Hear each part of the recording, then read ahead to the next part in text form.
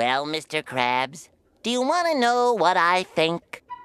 Oh, Rega, bleep brega, brega, smolin, holin, Mr. Krabs, yaga, hugga, mergan, wallet, zippy, bibby, spin, ribbing, flipping, Oh. oh. ship of Mr. Krabs' wallet. By the way, you forgot your briefcase.